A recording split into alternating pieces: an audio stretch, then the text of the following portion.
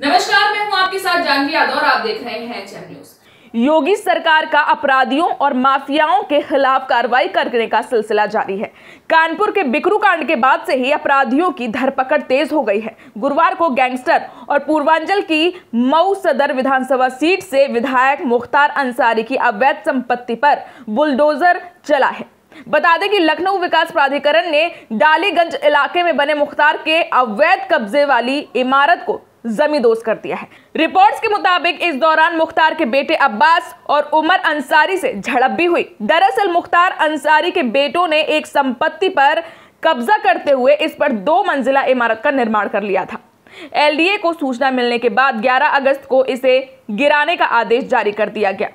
गुरुवार को जब एलडीए और प्रशासन की टीम यहाँ पहुँची तो उनके साथ बड़ी संख्या में पुलिस बल मौजूद था और एक दर्जन से अधिक जेसीबी मशीन लगी हुई थी। लखनऊ प्रशासन ने इस बारे में बयान जारी करते हुए कहा है डालीबाग कॉलोनी के पास गैंगस्टर मुख्तार अंसारी की अवैध रूप से स्वामित्व वाली संपत्ति को ध्वस्त कर दिया गया है।